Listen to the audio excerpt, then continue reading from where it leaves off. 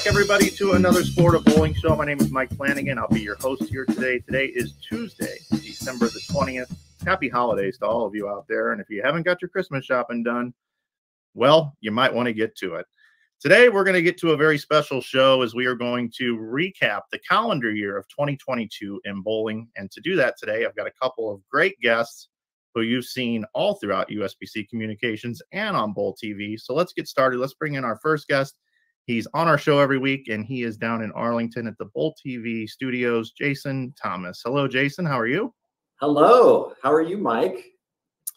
I'm doing good. I've got most of my Christmas shopping done, so I feel pretty good. Well, I, I'll tell you a quick story. I was doing mine this weekend, and I ordered a bunch of shirts on a website called InsideBowling.com, and I, I you know, fair, fairly significant number of shirts. And about five minutes after I ordered it, I get a an email saying I got a refund for part of the uh, part of the cost of the shirts, which I really appreciate because it came from you. I'm not saying that's what everybody who shops at InsideBowling.com will get, but I I will say there are a lot of really awesome shirts on there if you love bowling. I wanted to buy the whole uh, whole inventory. Well, that was very nice of you to give me that plug to start the show. This is the most important uh, start of the show, so thank you for that. And we do have coupons all over the place, but let's, let's just turn that page right now because there's also some amazing stuff available at the USBC merch store as well that can be found on bowl.com. So make sure you check that one out as well, uh, JT. Thanks for the friend discount. I appreciate it. Yeah, no problem. Uh, so today we're we're here. We're gonna kind of talk about some of the big stories that happened uh, in 2022 and kind of look forward to what's going to be happening here in 2023. And I'll tell you what, it's been a pretty action-packed year just in general uh, for bowling. It seems like there were events all the time, and we've seen a lot of media exposure as well uh, in bowling. A, a very changing landscape in 2022, but mostly for the good. Yeah, no, there, it was a, a great year. Um, again, there were like like you said uh, at the top there, you know, a lot of different types of stories. You know, a, great P, PWBA season, a great PBA season. Obviously, the news that just came uh, recently that the PBA is going to be on Bowl TV next year was fantastic. But a lot of other great things too. You know, celebrity competitions, some some unusual stories, and then just all of the great you know stories we hear every year just from the the bowling community. So it was really really an awesome year, like you said, Mike. Well, you you covered a lot of a lot of bowling this year, a lot of days on the road, and for me, it was one of my most action-packed years as well for for days on the road, as I got to cover a lot of the different tours. But I feel like to be able to properly talk about the year, we need to bring in one more person here today, who is the voice of the PWBA tour and one of our colleagues and teammates. So let's bring in from Las Vegas. He's handling the collegiate shootout on Bowl TV and was able to step away for a little bit. Let's bring in Emil Williams Jr.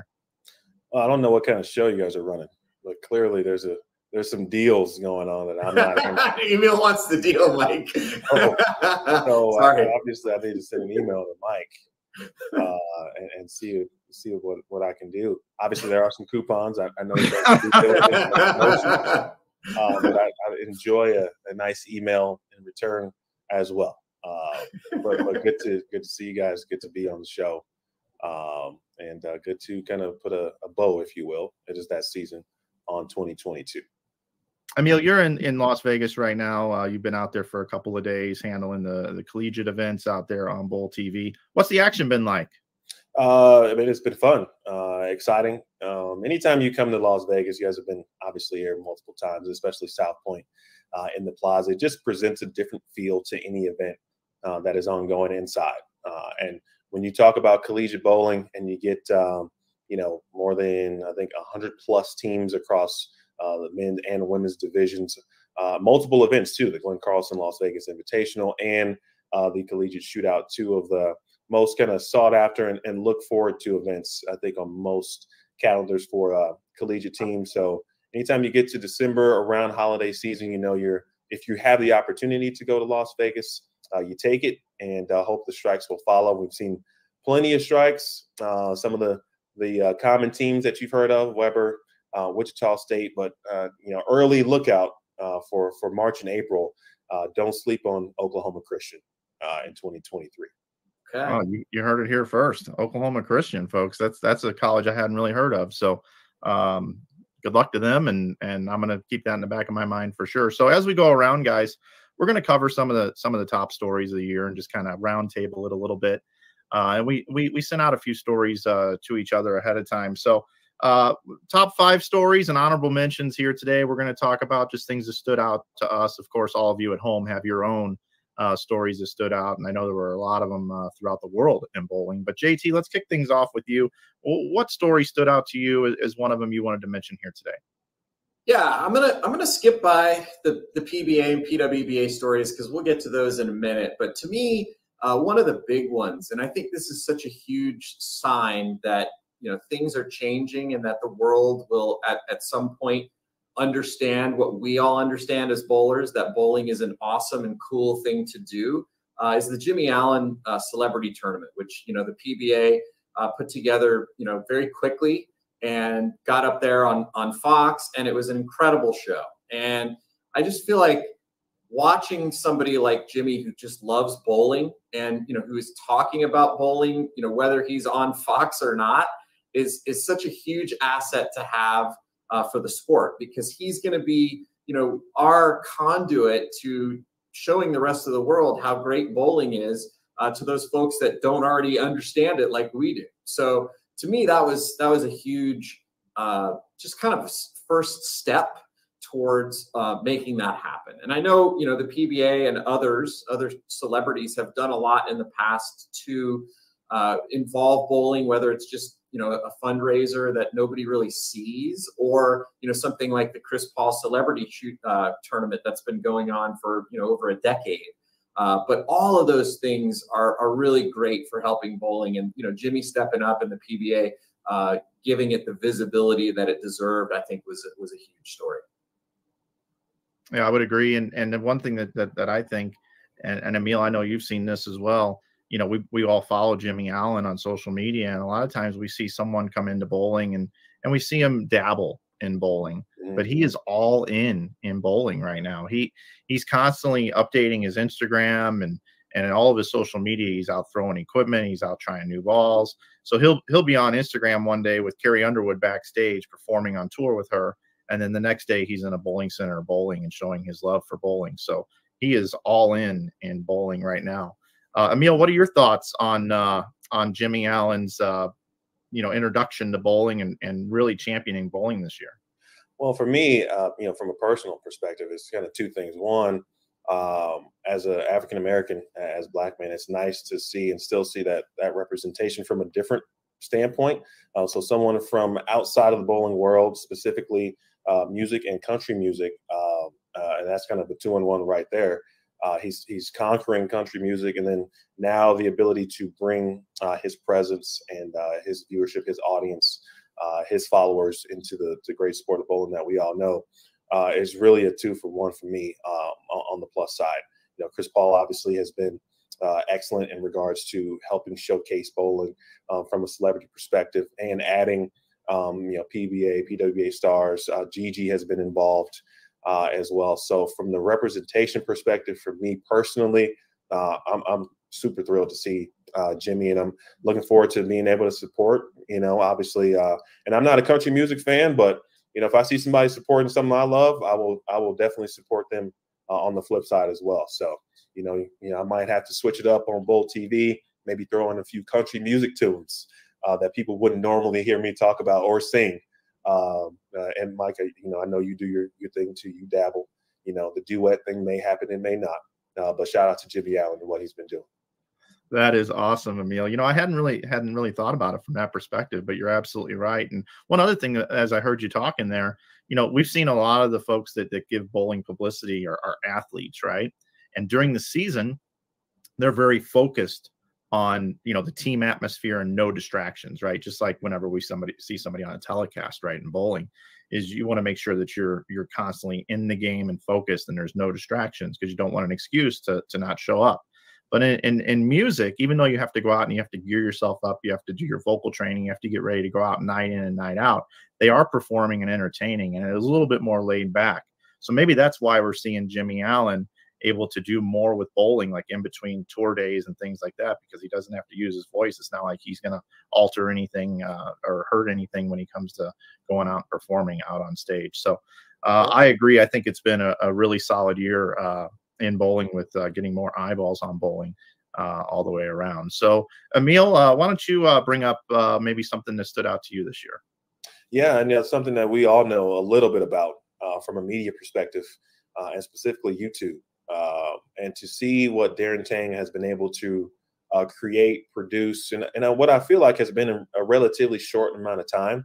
Uh, he's eclipsed the 100,000 uh, subscriber mark on on YouTube. I think the number is somewhere around 113,000 um, as we currently talk about it. for me, I love Darren Tang first and foremost. Every time we talk and conversate, he's been nothing but gracious with his time, and we chat and excuse me, discuss bowling. But um, I, I love specifically what he does with the channel involving league bowling. And, you know, we all have bowled league, some of us still bowl league, et cetera, and so forth. And those of you watching and listening to this, uh, obviously bowl league. And so, you know, Darren has made a, a, a really cool way to incorporate what he does for a living uh, and then kind of showcases it also uh, in a league setting, you know, so you get to you get a chance to see your some of your favorite professionals in Darren Tang, but also uh, mm-hmm. kind of the laid back feel of league, if you will, as well, while he's you know talking a little bit and having some special guests and you know seeing some honor scores being shot by others within the league and super sub. Shout out to Ari Wilson. Um, so what he's doing in that regard, um, you know, shorts, ball reviews, uh, and everything else, um, and and not just him. There there are tons of channels uh, devoted to bowling, both youth, uh, professional, um, and, and everything in between. Um, high level amateur tournaments are being covered um, in, in, many different ways in different cases uh, and across multiple channels. So it's really a great time to consume and absorb bowling uh, from a content perspective, from a media perspective, uh, and maybe something that you know from a if you just look at the the populace uh, and how many channels and, and, and, what's out there, there's so much to watch and uh, and to learn from Uh, as well. So uh, shout out to to to D Tang. Yeah, he's done an excellent job on on his YouTube channel. And JT, I like to use the example of Dave and Buster's, right? I use it all the time in business when I talk with clients or just when I when I'm when I'm at dinner with you guys. I'm sure you guys have heard me talk about it before. But you had Dave who had a restaurant, you had Buster that had an arcade, right? And they were in the same strip mall, and then they busted down the wall and decided to become Dave and Buster's because people would go eat, then they'd go play, or they would play and then go eat right? So when I look at Darren Tang's YouTube channel, the thing that he's been able to do is he's been able to partner with a guy by name of Jesse, who recently has become a bit of a celebrity in bowling as he bowls as well. But he's a great editor. He was even on the Beef and Barnsey show about a week ago. And you know, for him to be on the Beef and Barnsey show and talk about editing and all those sorts of things, and he's a very good editor, and he and he really stays in that Dave lane. And then you've got Buster, who's Darren, and their partnership has come together. They're the fastest growing YouTube channel in the history of bowling they took them just over a year to get to 100,000 subs. And to put that in perspective, Brad and Kyle, it took about three years, JT. Yeah, no, I mean, I would have thought five years ago that what they've done, Brad and Kyle, and uh, you know Packy as well, and, and Darren, would have been impossible. Um, they are actually making a living at YouTube, and so you know if you put together the number of titles that those four guys have, it's I think it's two, maybe three. So they're not the biggest stars on the PBA tour, but yet they're putting out great content every day. They're educating people about the sport and they're they're serious about it. They treat it like a job, even though they're they're really cool and fun and laid back on their channels. They are very serious about doing this as as a business and as a job, and they've proven to the rest of the world that it can be done. So you know, big kudos to them for doing it. I'm a huge fan. I, I, you know, I don't watch every single video that they put out, but it's certainly on my feed, and I watch, you know, I'd say at least four or five a week. Um, so thank you for entertaining me, guys. But uh, yeah, keep up the great work, and I'm I'm really happy to see that happening because it's not only a reflection on them, it's a reflection on our community and our bowling community. And again, to go back to my original point from the first topic, the more we can show in this community that we have this bright light that people want to be a part of, the bigger it's going to get, and the more opportunities we're going to have for the sport outside of you know our normal uh, insular, insulated uh, little little group. Yeah, no, I, I agree, and and and and the demographics out there too. A lot of young people are, are watching as as well, and and it's and it's fun, and it's also uh, entertainment that that you can that, that's family friendly. You know what I mean? So it's very family friendly content as well. So that uh, absolutely right. So I, I, I guess I'll. I'm sorry, Mike. I got to give one shout out before we move yeah. on for the from the media topic. Um, and we will talk about women's bowling here in a, in a sec too. But um, one of the channels that uh, that people often talk about comes up a lot. It's actually come up this week because Wichita State, of course, is competing. But Sarah Klassen, uh, yeah. who competed on the uh, on the PWBA tour this past season, uh, has a YouTube channel as well, and it's also fast growing. Uh, and you know talks about yeah she's of, like 10,000 subscribers now already right yeah and so yeah. and obviously experiences PWBA experiences you know real life you know expenses um, she broke it down on uh, yeah that was a great video yeah, I, right, right? yeah. You know, the, the, real life of hey this is how many events I, I I entered you know this is how much money I made this is how much it costs all of those things so you know breaking down the real life so so shout out to Sarah as well and Gigi uh, also doing her thing on, on YouTube also a lot of great content out there on YouTube. Absolutely. Uh, Emil, you you preluded it a little bit. You talked a little bit about uh, PWBA, and I don't think there's anybody that that knows the PWBA better than than you do. I know JT knows it well, also, but you were out there covering the PWBA tour, and I think the thing for me before I pass it off to you guys who were out there covering that tour is, you know, Shannon O'Keefe uh, won two Players of the Year in a row, and then and then she didn't win. And, you know, I think there were some doubters out there wondering whether or not she was able, you know, if she was over the hill or if her day had come and gone. And then she comes back and and and wins another one, you know, and that's with a couple different ball companies now as well. Uh, but Shannon O'Keefe back on top this year in one of the tightest player races that we've seen, you know, in a in a long, long time out there. It was a very action-packed season, a lot of great performances out there on the PWBA tour. But Shannon O'Keefe bringing it back, player of the year, and you know, it seemed like the Liz Johnson show and then it was the Shannon O'Keefe show. Then we saw Bryanna Cote come in and win a player of the year. And now Shannon's back. I'm really curious what we're going to see in 2023 on the PWBA tour.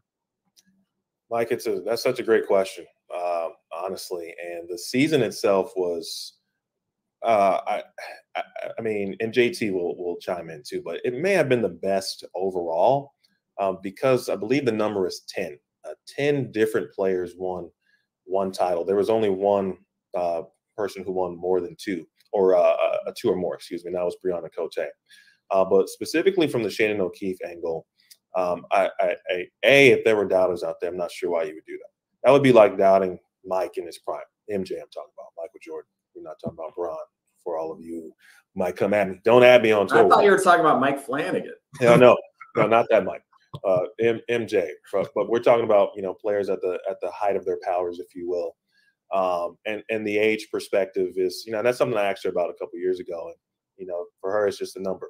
Um, but the main thing for Shannon this year was was battling through injury, uh, the IT band injury, um, and and all of the rest and rehab and the different things she had to do just to be able to compete uh, on a weekly basis, really on a sometimes on a daily basis.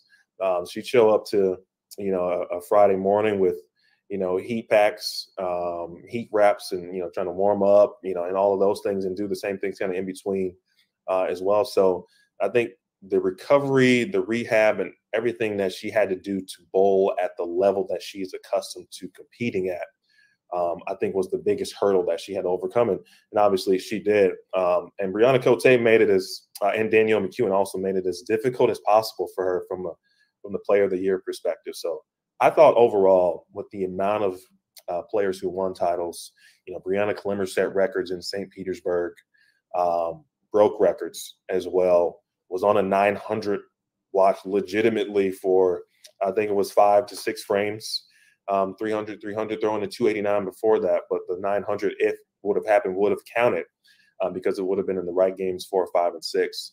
There were so many highlights, um, you know, TV every week there were a lot of lot of great things to, to be celebrated. Uh, from a staff perspective, it was great to, to be back out there certainly as well. Um, long days, but that's what we do, uh, and the, the ability to crown champions, uh, and as many as, as we did uh, was excellent. Yeah, I mean, I, I agree with everything Emil said there, and um, I will add one thing about O'Keefe and it is she's like the Terminator. Um, you know, no matter you know if you cut her legs off, she's going to keep coming at you. Um, you just she just doesn't give up, and she I think she finished no lower than ninth in any event this whole season, and that that's just a testament to her will to succeed. Even if she doesn't have a great look, she still finds a way to fight through it until she can figure something out, and then she starts coming at you. And the thing that I think keeps her going is, you know, this year she started reading a book every week. I think she read over 50 books uh, this last year. And so, you know, it's it's an example of, you know, you can read one book and get motivated to do something, but then, you know, after a month, after two months, that that book wears off and then life starts beating you up and you start to to slip. And she never lets herself slip. She's always finding new ways to motivate herself and you know, if, if, if other people just looked at what she did, not even just bowlers, but like in life, if you just watched Shannon O'Keefe and how she goes about competing on a daily basis, you will become better at anything it is that you want to do in life. So I think she's a great example. Uh, but there are a lot of young ones coming after her. You know, yeah. McEwan, she's she's she's going to get her Player of the Year one of these days, and it's going to be soon. And I think when she starts to realize that how good she really is, I think she knows she's really good. But when she starts to believe it, I mean, she could start winning five titles a year. That's how good Danielle McEwan is. And then, you know, you've got players like Breanna Clemmer who can just the, the, there's there's never been horsepower like her in any female bowler. Maybe Michelle Feldman, but other than her, I mean, when she gets what she likes, I mean, she she'll average 290, and you can't beat that. it's just it's just ridiculous. And then it happened. You know, if that weren't enough, yeah, you've got Shannon creating a bunch of monsters like Hope Gramley, who's going to come out next year. And I think Hope Gramley, her first year on tour, is going to compete for Player of the Year. I think she's that good. So you've got all these young players, and you've got all these players that have just been waiting for their moment Bryanna Cote, who has already had a moment, but she's you know going to be contending for Player of the Year for a long time to come. She's right in the middle of her prime. Um, and then you know you've still got Kelly Kulick out there. You still got Liz Johnson out there. And how much longer can Shannon O'Keefe keep keep this run going?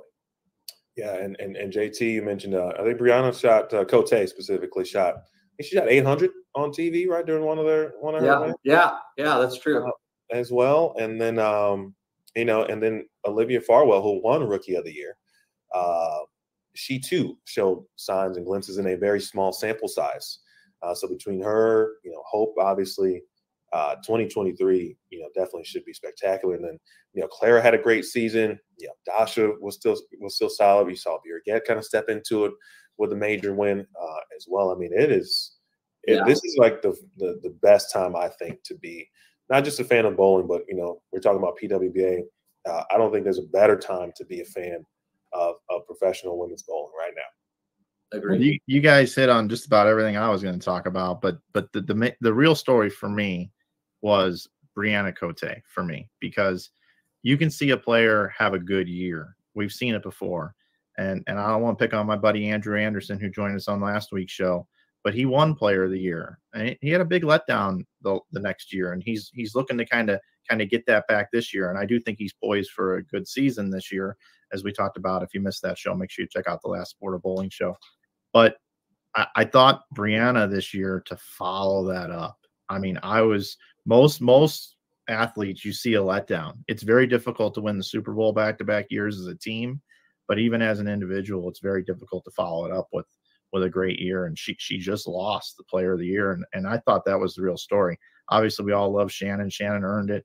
She is a powerhouse. She is very very difficult to beat both mentally and physically on the lanes, and she has all that experience. But to see what Bryanna Cote did this year, and then the other one you guys did mention and touch on, I'll touch on it briefly, is Danielle McEwan. Out there dealing with injury.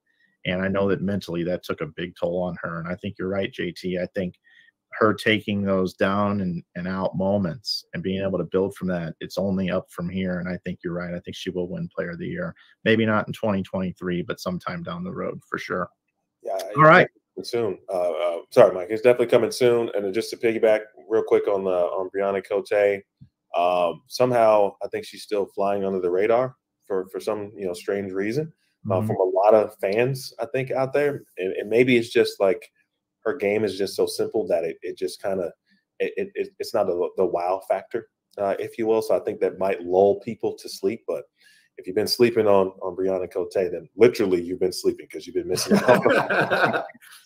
um, and, on a sadder note, don't want to get too uh, too much on it, but Bree, you know, just lost recently lost two very important people uh, in her life, both of her grandfathers. So just want to uh, give some, you know, let her know that we're all thinking about her and uh, wish her family uh, all the best, the Cotes and the Caldwell family. Absolutely. Yeah. We, we lost a lot of good ones in 2022 as well. Maybe one day we'll put together an in memoriam for folks that we lost in the bowling world and friends of the bowling world. So shout out to everybody that lost somebody this year as well. Our thoughts are with you. So I brought I mentioned Andrew Anderson. I think this is a great opportunity to talk a little bit about the PBA Tour season, which will be if you've been hidden under a rock, or as I like to say, been in jail for the last few months. They've been sleeping uh, That's right. Uh, we uh, we now have the PBA Tour on Bowl TV, which I'm really looking forward to going out and covering that one with you guys.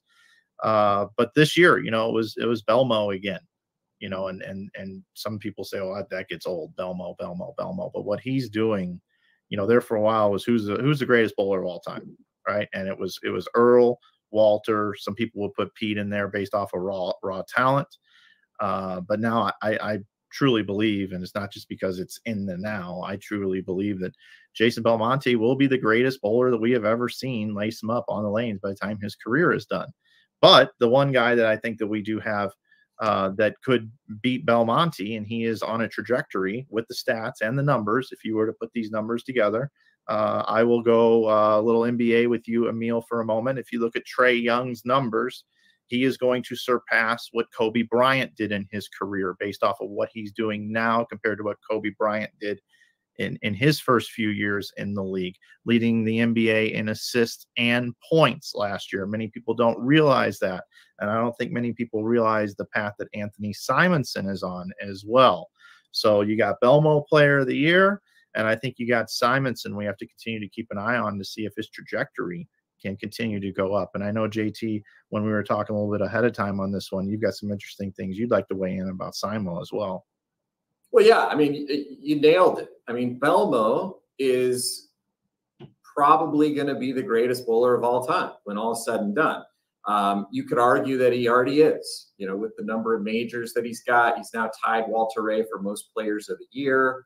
Uh, but he still has things he wants to accomplish. And part of what that is is he knows that whatever his record ends up being when he walks away, Simo's going to come after it, and he wants to set that number so high that Simo has a hard time getting it. And he he, he part of him I think believes Simo will get it no matter what that number is, but I think he wants to make it challenging for him. And you know, he talks a lot about tennis. You know, what happened with Roger Federer and with Djokovic and with Nadal where you know you had Pete Sampras break this record that everybody thought was unbreakable, and then Federer breaks it. Now all of a sudden you've got three guys who have broken it, and they're all chasing after each other. And so you know that's basically what Belmo's created out on tour by being as great as he's been.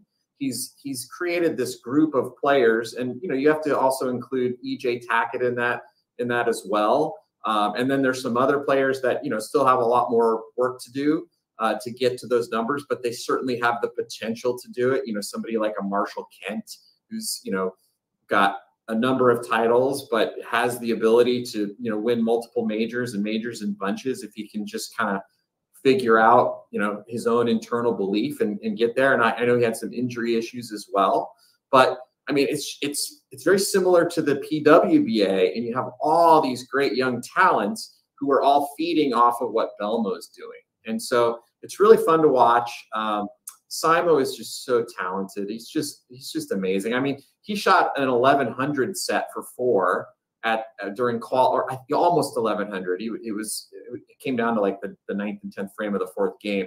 But he bowled an 1100 set basically for four, which is really hard to do. I don't know if anybody out there in the world that's watching has ever bowled 1100 for four, but you got to strike a lot. he did it on a day when the, the field average was less than 200. So, I mean, watching him do that was just like, oh my, I can't believe how incredible this guy is. And then just some of the things he does on the lanes with the backup balls, and then he'll play a, a line that you're just like, well, he shouldn't be playing there because Belmo's got the whole lane lofting it. He'll go out and play second arrow and beat everybody. So I just, he's just unbelievable at what he does. But it's just super fun to watch two players at that peak of their game go at each other and just push each other you know, you know, I, I think, um, and yeah, and I, I, like to make a lot of references to to Michael Jordan because I he's the goat for me across sports, but specifically basketball.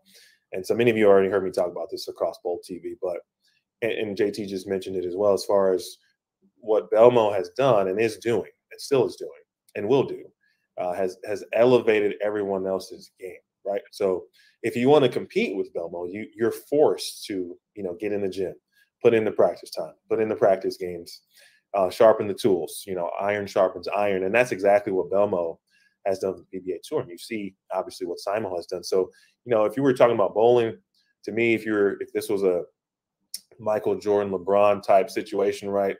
That that's what you got. I mean, you got uh, Belmo, Simo, you know, Mike and, and LeBron, and you know, in many cases, obviously, LeBron's going to going to to uh, eclipse a lot of you know records and already has you know points and all those kind of things. But uh, it very well could happen that way for Simo. And, and the thing about him is right, you, you you think about how long he's been on tour, and you forget that like he's not even thirty, which is just the almost like the strangest thing. It's like wow, he's literally got you know a full you know I won't call it a lifetime, but you know at minimum you know uh, give uh, you know health and, and everything's good a minimum like 20 years left of, uh, and, and probably could 15, just hard, strong, you know, still really, really good to great years. I mean, so. Yeah.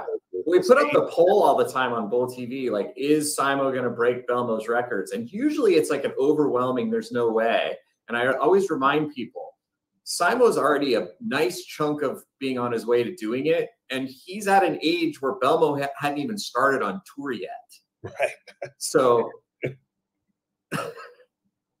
yeah, I'll throw, I'll throw another analogy. He's like Connor McDavid. You know, McDavid came into hockey, you know, so young, you know, and and he's you know killing it. But yeah, he, it's it's obvious that you know he's off to to the best start in the history uh, of of the PBA. And and shout out as well.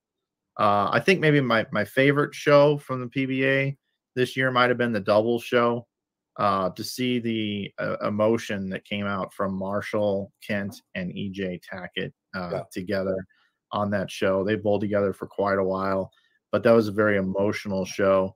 And and right before the show, also Commissioner Tom Clark brought out some very special VIP guests, and they paid tribute to the great Mark Roth. So, uh, you know, we lost Mark and uh, in 2021, right there, right before the end of the season at the Mark Roth doubles, there wasn't a dry eye in the house. So that was another big one for me.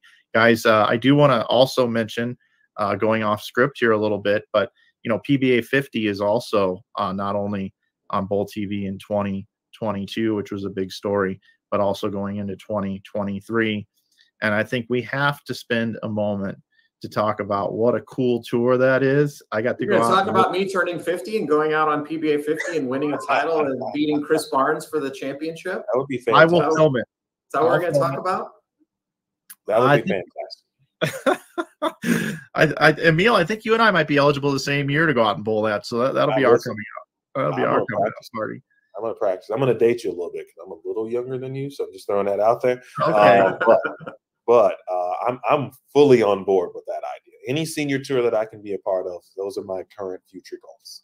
I love that. So uh, so th- you know, this year was awesome covering those guys, and and you know, Tom Hess had just come off Player of the Year, and he came out, you know, guns blazing and and and finishing the top three in points. And Chris Barnes was right there again. But the real story was Parker Bohn the third to be able to to win player of the year at age 58. You know, a lot of times the spring chickens, the 50 year olds, the 51 year olds are the ones that come out and dominate on that tour. We've seen it over the years. But for Parker to have this resurgence at age 58, I think it was because he was fueled by his kids, right? Because they were yeah. winning everything. Oh, so, oh, yeah. so, uh, but what an incredible year for Parker. He won five times out on that tour. Yeah, no, I think you hit the nail on the head. I, I think it all started when he saw both of his sons win at junior gold, and then he just went on a tear. And so, I mean, it's Fountain of Youth. I actually wrote my Bowlers Journal column, uh, my last one about about this very thing. You know, about having a fresh young mind. You know that that will drive you no matter what you do. And I think working in bowling gives you that. And uh, I made a little joke there about bowling PBA 50 because I I really do know that you know if I did go out and bowl there, it would be much more of a horror show than like one of those uh, happy ending movies. But I mean, it, it's it's awesome. It's like the fountain of youth. I, I, I'm here for it, JT. I'm just letting you know. Thank you. Get the big wheel out there. Back out. Um, you know, Mikey obviously had a front row seat uh, to the PBA 50 you know, one thing for me, just kind of watching from afar, and typically every time you were at a PBA 50 event, I was at a PWA event. So I never really got a chance to just kind of sit and watch uh, Bowl TV. But, you know, you, you read, you listen, and, and, and you watch when you can. Uh, and, and, and what Parker did was was fantastic. Even that week of Junior Gold, he was making the the run. He was commuting back and forth, making sure he was still you know, available for Justin, available for Brandon, available for Sydney uh, and everyone else. And then, you know, making the, the trip, you know, back and forth. I don't know how many miles it was uh, overall, but um, and then he goes out and wins. I mean, so it's just like, you know, wow, it was like a, a, a, two for one deal for me again. Like, you know, his dedication to his craft, uh, and obviously, first and foremost, being a dad uh, and, and, being a parent, I thought was uh, excellent on display. Um, and I guess shout out to John Burkett you know, won his first title, which was uh, just an excellent story, uh, also as well. Uh, and, and, reading, you know, what uh, Jill Winters wrote about him in the uh, in Bowler's Journal recently, and understanding his story, and obviously watched him as a major league pitcher was was pretty cool as well. Yeah, that was that was a great story. I, I, talked to him the other day, and you know, it meant so much to him to win that title. And again, Fountain of Youth, he was like, I, I was starting to think it wasn't going to happen, right? Because it's hard. It's hard to win out there, but you know, to see his story and see all the time and effort that he's put into it, uh, it makes me think that you know I have a chance against Chris Barnes. Yeah, I was gonna say who else? Chris, Chris Barnes, obviously. Dino was it Dino's rookie season out there? Yeah. The 50 tour. I mean, he came out um, and, and, put up numbers uh, as well. I mean, I mean that's just that's a tour. You know, like as soon as you turn 50, shout out to Tony Franklin because we had some convos and some lives too. And, uh, uh, you know, that he made a run at one of those tournaments. Yeah, like a, it's like almost maybe a, the, the jolt of energy, like you said, JT, the fountain of youth, to where, you know, you get back out there and you, you still get to bowl. And now you get to bowl against the players that either you bowled against in your younger years, obviously, and you you still get to bowl against them in, in many cases. Um, and, you know, I know Tom Hess has not only done it on the lanes, but now he's dabbling in some Bowl TV stuff too. Uh, so it's, it's good to see all of that as well. And then one thing regarding uh, kind of bring it back to just the PBA side, I got a chance to cover the Colorado Springs Open, I believe it was this this past March, uh, and, and Dom Barrett won, and then he went on to win the Triple Crown uh, later uh, in that season. I, and I thought uh, it was good to see Dom, who I always thought was just immensely talented, uh, kind of get back into the winner's circle uh, as well. And then there are players we didn't even talk about, right? We mentioned EJ Tackett, but Chris Prather, Brad, Kyle, uh, uh specifically uh, Kyle Sherman, but Kyle Troop. I mean, AJ Johnson. I mean, the, the, list goes on and on. So, as someone obviously who's always been a fan of the PBA, now getting to see it maybe a little bit up, a little further up close. excellent. Definitely looking forward to that in 2023 yeah, it's all going to be on Bowl TV, and I'm going to throw it out there right now. You you mentioned the collegiate team we need to look out for. I am going to say AJ Johnson's going to win this year, uh, and it's because of what's happening in his life outside and off the lanes. He's in a really good spot mentally. He's got a great support system.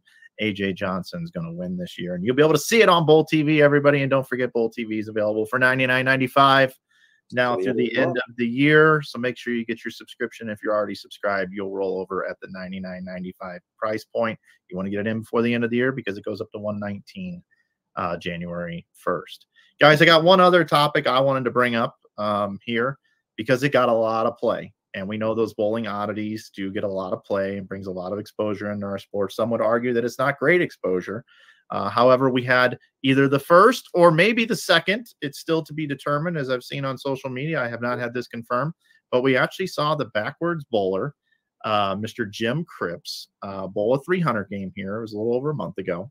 And uh, it just goes to show all the different unique styles in bowling. As long as you uh, repeat your speed, how you release the ball, um, and then your accuracy, no matter how you do it, you can achieve great scores, at least on easier conditions, that is, on house shots.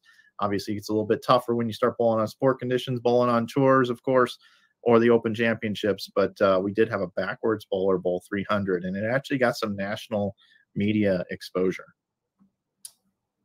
Yeah, I mean, I think you nailed it, Mike. Uh, I think we in bowling tend to be sometimes a little snobby. Uh, we can, we can, uh, we can judge other, yeah, yeah, judge other people's form and style a little too harshly. Um, you know, certainly Mr. Belmonte comes to mind, somebody who just, you know, came out of nowhere, you know, Australia, just all of a sudden shows up with this two-handed style and proves that, you know, you know what, you can bowl any way you want and be great at it as long as, like you said, Mike, you can repeat the shot and do it consistently.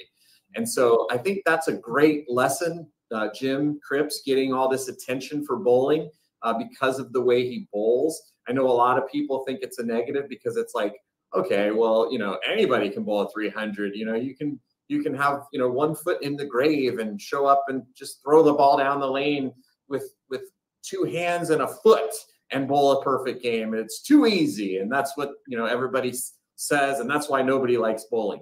No, the reason they don't like bowling is they don't know about it. They're just not aware of it. They don't hate it. They don't love it. They just don't know. And a, a person like Jim Cripps who comes along and proves that you can have a great time and also be good at it, doing it any way that you want, makes bowling seem like something people would want to be a part of. And so I think it's a great story. I think it's an important story. I think we as bowlers should be loving it and supporting it and doing everything we can to tell other people about it because it's cool and it's interesting and it makes people like bowling. This this was kind of like a mini JT Bowl TV rant right there. Like if you heard JT go off a little bit every now and then. He, was, he, he tamed it down. He toned it down a little bit. Uh, I think he had more. He had more to say. Uh, but it's because I haven't been on the air for 16 hours already, and having to do 16 hours the next day. It's true. That's fair. uh, that's fair. That's my life currently. Um, but but you're I think you're right, JT. Honestly, and obviously everyone is entitled to their opinion, and, and you know no one's opinion is wrong from that vantage point. But for me personally, I got a chance to meet Jim Cripps back when I used to work at the Open Championship. So that was my first introduction uh, to Jim. And you know, when you first see him, it's like anything else, right? It's a more of a like a modern marvel in that sense. It's kind of like, well, this is interesting, or you know, and, and does it work, and, and and how does it work? And you know, I think for me, I always try to get down to it, right, just from the the person perspective. And he's a great dude, and so to see him have this success and and still, you know, really just commit to what he's been doing.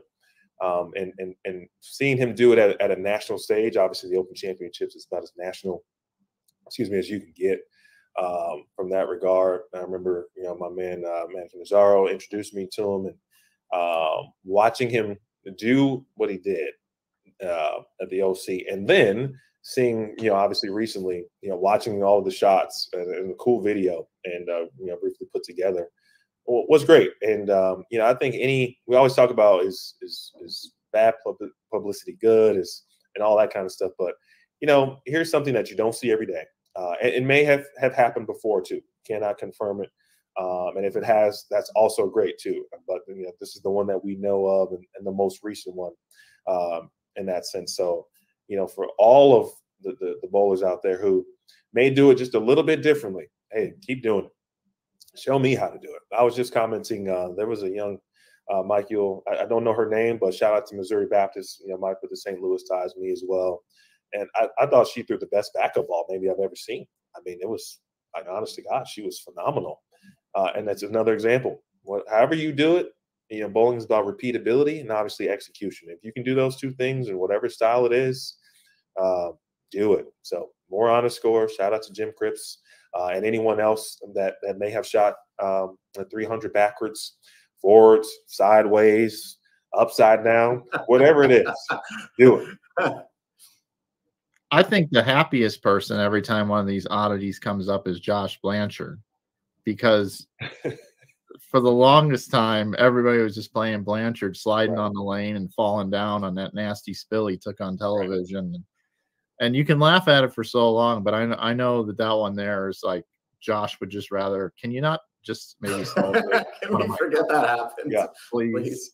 I think back to Josh Scanlon when he threw it off the the, the gutter and it went up in his truck, and uh, you know that's on the USBC um, YouTube channel. It's sitting out there. That's one of the most viewed videos of all time. And of course, I have the horrific bowling accident where oh, Troy yeah. Walker hits the rack as well. I, I, think my favorite thing about the Josh Blanchard one is that he's got such a beautiful style, right? Everything's perfect. He's like the modern day David Ozio. Everything is just perfectly in line. His balance is so fantastic. And then there's this clip of him, you know, looking like Bambi on ice, you know, uh, which is just so cognitive dissonance. You know, it's just like that's not Josh Blanchard, right? Um, but yeah. Anyway, plus plus his personality.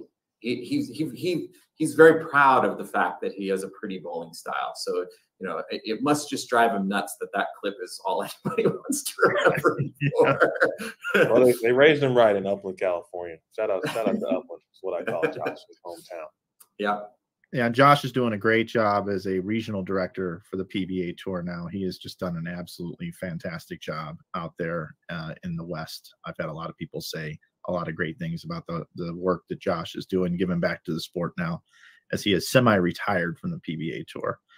Well, guys, that's a lot of great stories, and I'm sure our audience at home has a bunch of other ones that we probably overlooked for sure.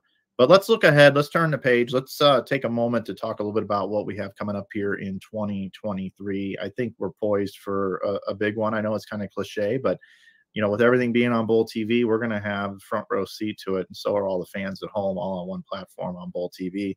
Uh, JT, I'll go to you. What what are you looking forward to here in 2023? Yeah, I mean, we touched on some of them, right? I mean, is is Shannon O'Keefe going to be able to be Player of the Year again? I think that's the the first question in everybody's mind. How long can she keep this going for? And so, you know, and then which player or players might be the ones to break through and, and kind of, you know, establish themselves as the next dominant player. So that that's one thing to look for on PWBA. Uh, PBA, similar storylines. You know, can Belmo keep it going? Uh, is Simo just gonna, you know, he's gonna he won the USBC Slam last year. Is he just going to win the Grand Slam, right? Win every major? I mean, it's possible. Um, but then there's always that group of other players, like you mentioned, AJ Johnson, uh, Kyle Troop, uh, Marshall Kent. He looked me in the eye and told me he was going to win at least two majors next year, and he's working his tail off to do it. So, you know, it's just going to be fun to watch all that, and it's going to be even more fun because we're going to get to cover it. But then there's all these other stories uh, you know, I don't know if you've read Bowler's Journal this month, but but you know, the Kevin Williams story is so fantastic. I mean, you know, he broke through and won a title on the PBA tour, but he's also a very talented musician. And you know, at some point we might lose him to you know his music career, but we'll never really lose him because he'll always be a bowler and he'll always support bowling and he'll love bowling. So I'm curious to see what happens with his music career. And that's not even a bowling story, but there's just so many other stories that you know you just don't hear about. You know, we try to cover them in Bowler's Journal. Uh, we do it. We do our best to try to kind of uncover some of those stories that maybe you, you don't hear because they're not the people that you see on Fox and CBS Sports Network or Bowl TV every week. But I just love to hear all of those stories, and I'm going to do my best to bring them to you. I know Emil will, and Mike will, and all the folks that we have on Bowl TV will as well. And I just can't wait to see what stories are out there that we've yet to, to even see. Yeah, well said, Emil. What are you looking forward to next year? You know, I, I think um, obviously having you know Bowl TV as a as the, the place to be, if you will, um, and, and, just getting to watch you know PBA on a, I guess a little bit more up close and, and on a regular basis uh, from that vantage point. You know, obviously you know, from the PWBA perspective, I think both tours, the continued youth movement. Um, I think for me, I get a chance. I can get a chance to see it more from the PBA side now uh, with it being on Bowl TV. Uh, and and I, am always looking uh, from the youth perspective on the PWBA tour. You know, when I go to collegiate events, which is where I'm at, you know, right now, uh, when I watch the women's division, I, am watching for players who I believe have, um, you know, the talent and, and maybe just right now can maybe make that leap and take that next step. Uh, so I'm, I'm kind of consciously watching, uh, and, and the same thing on the men's side. But now I can kind of combine both because I know I've got one place to just kind of watch for everything in that sense.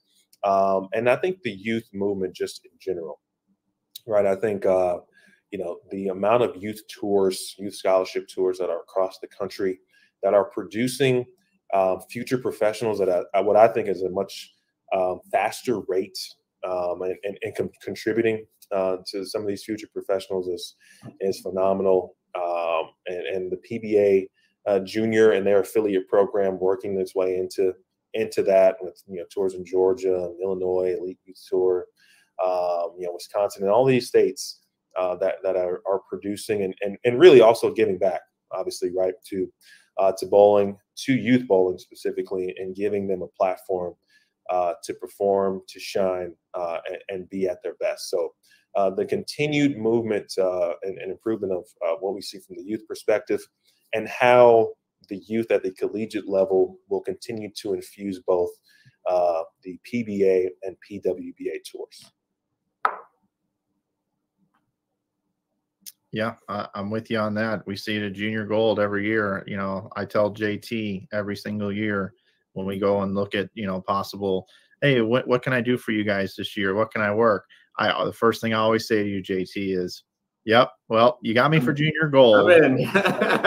and what else need me for? And and that those that those are probably the most brutal ten days of live streaming work. Hell, there was one day this year I, I couldn't ring the bell I couldn't even get up. I was I was I was a, I was a game uh, almost a game late getting there because of the long days, which hasn't happened in my career in a very very long time. But uh, I agree with you, man. The youth is where it's at, and I feel like that that we all need to be there to cover that as well for sure. I think the thing for me, guys, going in into next year is is is no no time off, and that doesn't mean necessarily from our perspective uh, it just just us working in bowl TV. I mean it just in general. I mean there is so much bowling all the time now. Whether you get your bowling fix through Instagram, now through TikTok, there is more TikTok bowling stuff out there than you've ever seen in your life. And the views over there because it's so quick and people are watching so many different videos when they sign on to that platform. Bowling is being viewed more now than ever. And when I look at the schedule you know, I think all of us in the industry used to be able to say, well, it's going to be really busy for these couple of months, but then we get to take off a little bit. Even in bowling centers, proprietors out there have always said, well, I got to get ready for my winter leagues. I got to floor my winter leagues and I have my holiday parties and then I got to finish my winter leagues. And then it's summertime and we have less business. I can take a little bit of time off. I get to go to Bowl Expo, all these things.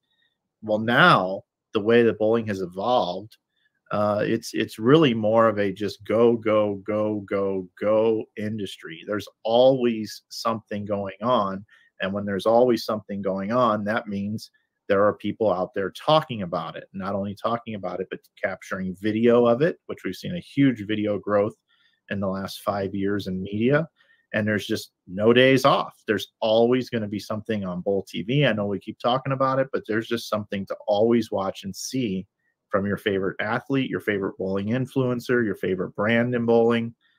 Man, I just think that that's the big thing for me. And I'm interested to see what the media landscape looks like. It seems like every year there's some new platform or there's some big drastic change. We saw Elon Musk. Yes, I got it in there on this broadcast. He purchased Twitter. Uh, and Twitter is a bit of a mess right now. Um, I can speak firsthand. I have one of my accounts is just totally disabled. It thinks that I'm under 13 years old and I haven't changed the thing. And I've seen a lot of other accounts come up that way. So what if Twitter just disappears, right? How would that change uh, the whole landscape of the world? But how would it change the landscape in bowling? I know that Twitter is not the most uh, watched platform in bowling, but what if Facebook went away for some reason, right? You just never know. That would be very impactful to bowling because there are so many Facebook groups, proprietors use it to tell people about their events what's going to happen in media this year and who's going to be the next Darren Tang or Brad and Kyle. Are we going to see Sarah Clausen get to 100,000 subscribers this year? I know with all the viewers we have on this broadcast right here, she just got 30,000 overnight. But, you know, what, what does the year look like? You know, next year from a media uh, perspective and just from an overall impression perspective, and how many people are going to view these telecasts? They're on TV. So that's it for me. I'm, I just want to know what is this whole world going to look like from a media perspective? How many people are going to be out there bowling? How many more people are going to be involved in bowling? And I like what you said also, Emil, with all these young bowlers that are taking it so serious and they're getting mental training and they're they're getting bowling balls drilled and, and they're just learning from all these athletes on YouTube or wherever it may be, wherever they consume their content. I think that if I were to buy stock – I would definitely buy stock in bowling. And, and I don't say that all the time, gentlemen. You know, sometimes I'm a little glass half half empty sometimes, but going into this year, I think I think it's I think it's time to buy bowling. I definitely believe that. I agree, uh, and I might know a little bit why you know your Twitter account got disabled because they thought you were under 13. They may have watched some of your PBA 50 coverage and, okay. and got word of that and said, "Yeah, this there's no way this guy's over 13." So yeah, let's let's disable. But please don't stop doing that because that's why people love you and they love watching your coverage of these events. But yeah, I mean, you hit on it. It's the youth. It's like we're old. We talked about that on this show already. Me, you, Emil, other people that are involved. We're old. So let's not mess it up for the young people. Let's give them what they want to see. And that's what we're planning to do. You know, I talk to my kids all the time. My wife goes, What are you doing? We're supposed to be disciplining them. And I'm like, No, we got to talk to them. We got to learn what they want so that we can right. give it to them in the right way. We don't just give it to them indulgently, but we ask them what we what they want and then we put it in place for them to want to be a part of it. And so I think that's one of the biggest reasons why I think you should buy bowling stock and why you should buy a Bowl TV subscription because we're going to give you that. And we want to know how you think we should do a better job of that. And I think that's what's so great about Bowl TV and the Bowl TV community is because we listen to them and we give them what they want. And I think that's why Darren Tang is successful. He gives his community what they want. And that's why Packy's so successful. He listens to them and he gives them what they want. And that's why Brad and Kyle are successful because he, they listen to their people and they give them what they want. And if we just keep doing that, then this sport is going to just continue to grow and grow and grow. Yeah, well said. Emil, anything else before we get out of here? No, I think uh, you know, I just saw that uh, my man David Jacoby is leaving ESPN, and one of my favorite podcasts was uh, Jalen and Jacoby. So, having said that, and what JT just said, uh, to quote uh, their podcast and a great song, "Got to give the people, yeah, give people what they want." That's it, man. That's it. Can't can't say it any better than that. Uh, and Bowl TV is is here to help you do that those of you that bet on who would sing during this show, Emil was not the favorite. that was a big, that was a big payday right there. I, I though, like if you watch enough PWBA, mine is very subtle. It'll be just random, you know, but I give you about 10, 15 seconds and then I'm out.